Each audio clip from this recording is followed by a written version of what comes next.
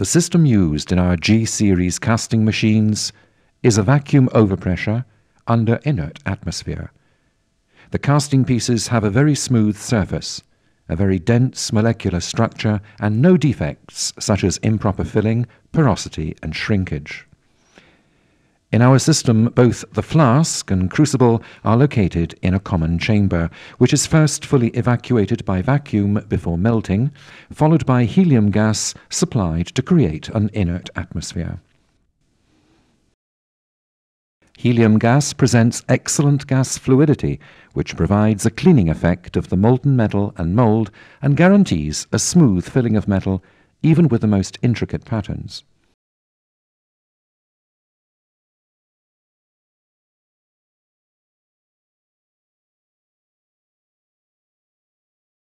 The casting temperature is attained and low frequency pulses are given to vibrate and mix the molten metal by keeping it homogeneous. At this stage, the flask is pushed against a long lasting special metal sealing blade system, or SBS, which, like a knife, cuts the investment by sealing the vacuum underneath the flask. This long-lasting system avoids the use of silicone gaskets or a flask with flange with an important reduction in casting costs. The metal, once completely poured into the flask, is pressurized by argon up to 4 bars. This pressure, being applied to the molten metal, forces it into the mold while the vacuum pulls it.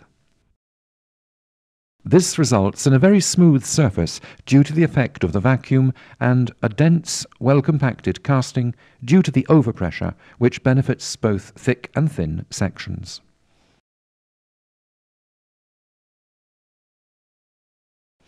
In most of our competitors' machines, the metal cannot be effectively pressurized up to 4 bars since the machine structure does not allow for this and under this pressure the cover will blow out. During normal use at 1, maximum 2 bars, the applied gas pressure above the crucible can only act on the metal once the mould is occupied by jetting through the crucible feed hole to the underside. The effect of this pressure is drastically reduced by drag of the crucible holder, etc. In fact, application of gas overpressure by this method shows no significant advantage over a simple gravity vacuum system. A further disadvantage of these machines is that there is usually a gap of 4 to 5 centimeters between the crucible feed hole and the flask entry, which frequently leads to splashing and gas absorption problems. In the separate chamber machines, the syringe effect is guaranteed by special gaskets and cements underneath the crucible to keep it sealed. After the vacuum is applied, the flask is pushed against a silicone gasket and inert gas is supplied. When metal is molten, it's poured into the flask. At the same time, a gas pressure is applied to the crucible chamber at 1 bar maximum. When the crucible gasket and sealing are proper, the gas pressure will push out the metal from the crucible by increasing its pouring speed, while the vacuum pulls it.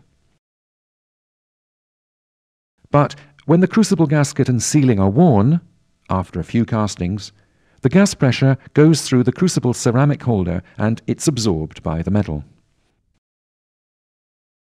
This phenomenon, together with the metal injection speed, creates gaseous formations, which cause improper filling, damage to the investment, and rough surfaces, as in the old centrifugal systems abandoned a long time ago for the casting of gold and silver.